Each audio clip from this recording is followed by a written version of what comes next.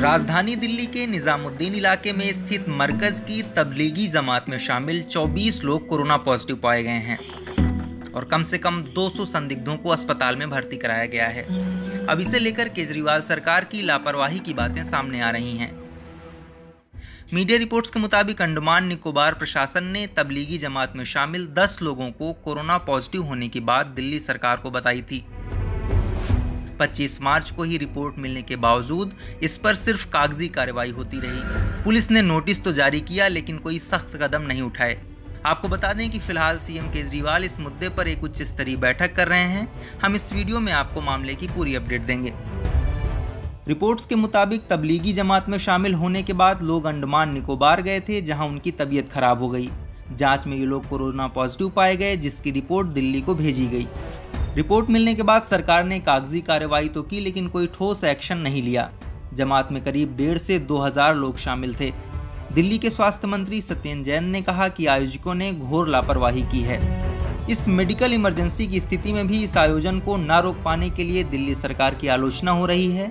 इस पर दिल्ली के मुख्यमंत्री अरविंद केजरीवाल ने एक उच्च स्तरीय बैठक बुलाई है, जिसमें उप मुख्यमंत्री मनीष सिसोदिया, स्वास्थ्य मंत्री सत्येंद्र जैन और कई वरिष्ठ अधिकारी शामिल हैं।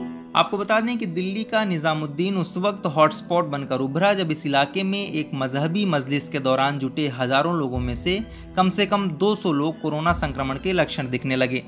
इनमें से 24 से अधिक में संक्रमण की पुष्टि भी हुई। साथ ही यह भी दावा किया जा रहा है कि इसमें शामिल लोगों में कोरोना की वजह से 10 लोगों की मौत भी हो गई है।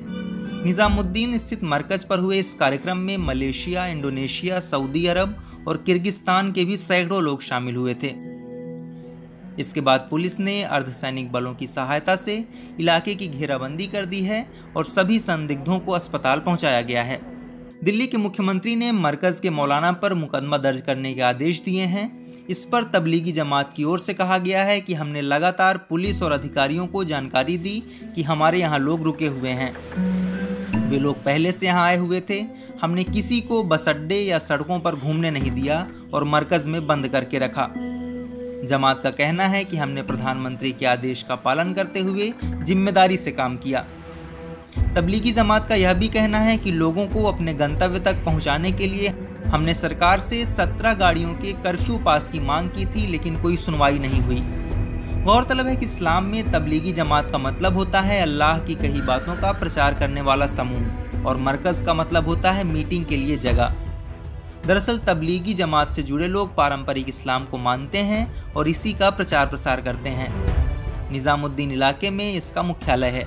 लेकिन यहाँ सवाल यह उठता है कि जब इस वैश्विक महामारी की वजह से मक्का और मदीना भी बंद कर दिए गए हैं तो दिल्ली में इतनी बड़ी रिलीजियस गैदरिंग या कहें धार्मिक आयोजन क्यों किया गया?